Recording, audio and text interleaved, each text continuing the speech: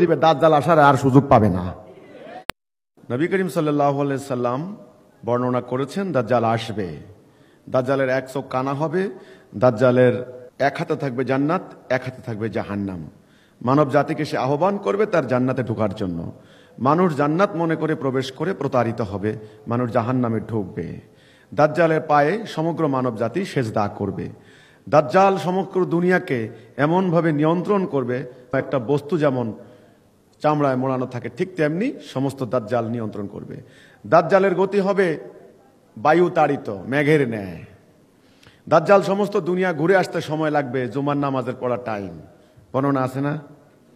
দাজ্জাল মাটির নিচ থেকে সম্পত্তি আহ্বান করবে, তাকে সেই সম্পত্তি অনুসরণ করবে। দাজ্জালের ডান চোখ থাকবে কানা, এক চক্ষু বিশিষ্ট দানব, দাজ্জাল। আল্লাহ রসুল বলেছেন, দানব। দাজ্জাল শব্দের অর্থ হলো চাকচিক্যময় প্রতারক। মানুষ প্রতারিত হবে।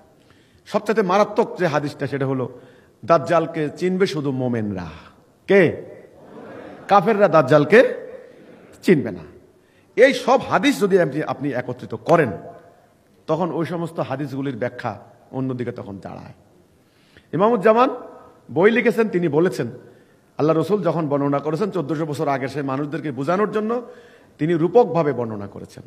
তিনি বইতে প্রমাণ দিয়েছেন এই বর্তমান ইহুদি খ্রিস্টান বস্তুবাদী যে সভ্যতাটা, এই সভ্যতাটাই হচ্ছে দাজ্জাল এই ধর্ম ব্যবসায়ী মালাউনের গোষ্ঠীগুলি বলে কি, আমরা নাকি বলেছি আমেরিকা দাজ্জাল, ব্রিটেন দাজ্জাল, আমরা নাকি বলেছি যন্ত্রপাতি দাজ্জাল, বিজ্ঞান দাজ্জাল। ইমামুজ্জামান বলেছেন সভ্যতা দাজ্জাল। তো দাজ্জাল সম্পর্কিত বহু হাদিস আছে।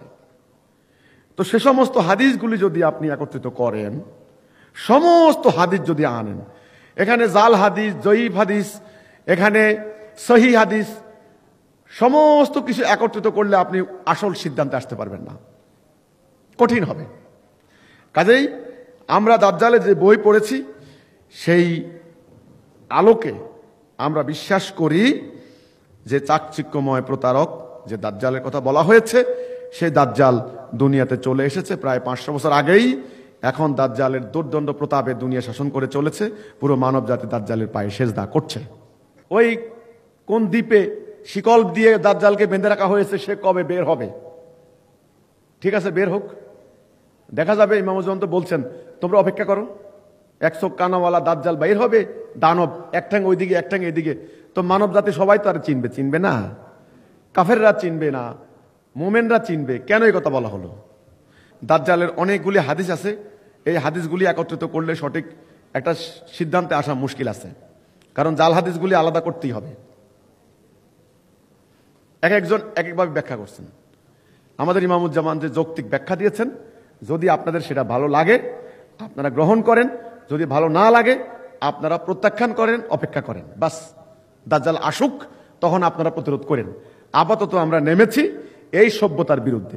যদি আমরা তা না করি, ওই সভ্যতাই দুনিয়া ধ্বংস করে দিবে, দাজ্জাল আসার আর সুযোগ পাবে না।